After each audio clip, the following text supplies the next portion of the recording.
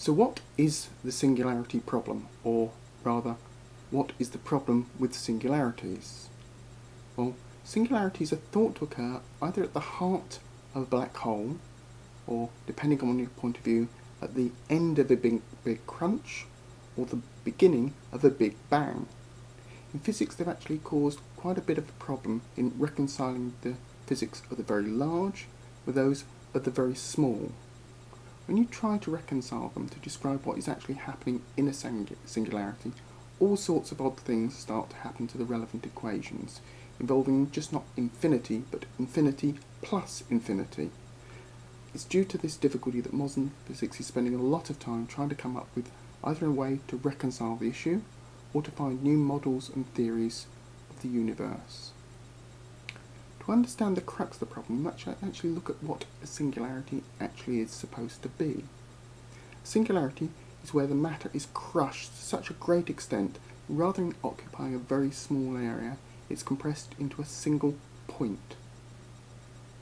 If you accept that a vast quantity of matter can actually be crushed into a single point, then you have to accept the problems caused by it. However, there is hope out there. There is an old question.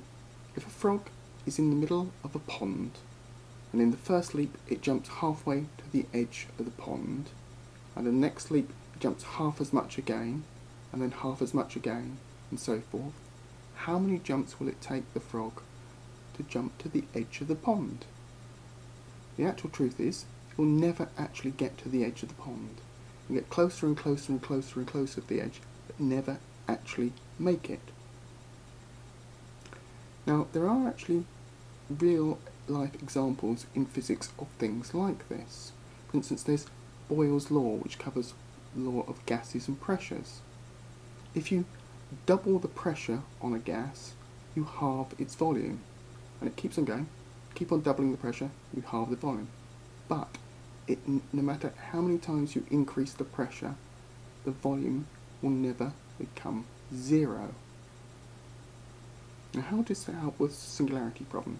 Well, if we follow through the same logic, the enormous pressures in a black hole will trend towards a singularity, but never actually make it to the singularity.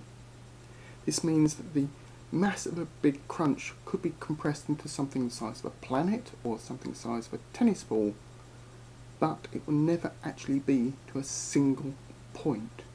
Without the existence of a singularity, the differences between macro and micro physics are actually relatively easily resolved if we say that a singularity won't actually occur